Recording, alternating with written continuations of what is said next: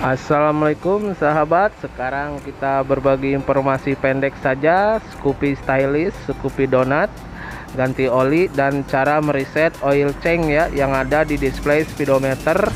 Untuk ngeriset Scoopy Donut ini Hanya untuk menolkan uh, kilometernya ya sahabat. Berbeda dengan kayak motor sejenis lainnya Bisa mengatur berapa kilometer dia oil change ini timbul ya sahabat ya.